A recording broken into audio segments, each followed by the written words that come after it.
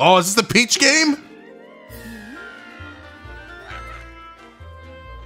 One day, a loyal toad presented a flyer advertising a show at the Sparkle Theater. Princess Peach and some toads went to go see it. But then. The Wicked Grape and the Sour Bunch suddenly made their grand entrance and took center stage.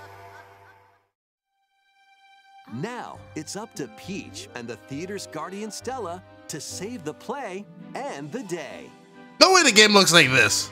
This perfect performance has become a terrible tragedy. Luckily, Peach can use the power of Stella's ribbon to face off against the Sour Bunch.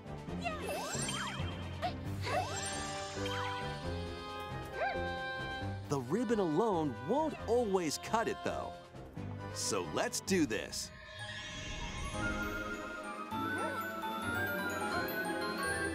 It's like a 3D Paper Mario stage game. Whoa, Peach transformed into Sword Fighter Peach. What?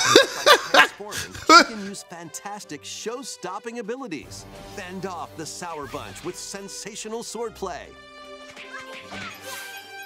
Can Peach save this performance and its performers? There are more stolen shows to save. Valuable artifacts from this museum have gone missing. Become Detective Peach. What? Investigate clues and track down who done it. Desserts have been snatched from this sweets festival. Turn into patissiere Peach and save it from a sugar crash. The Sour Bunch got their hands on this martial arts school. Become Kung Fu Peach and take it back from these foul fiends.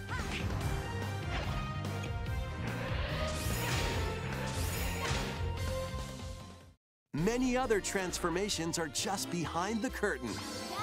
The stage is set. Our leading lady is ready for the spotlight. Princess Peach Showtime makes its debut on Nintendo Switch March 22nd.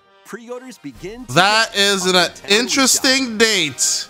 That is a very interesting date. That was a new look at Princess Peach Showtime. In Peach's latest adventure, the gameplay changes depending on her transformations. It looks like there are more transformations beyond the ones we showed today, so please stay tuned. Let's continue with some more.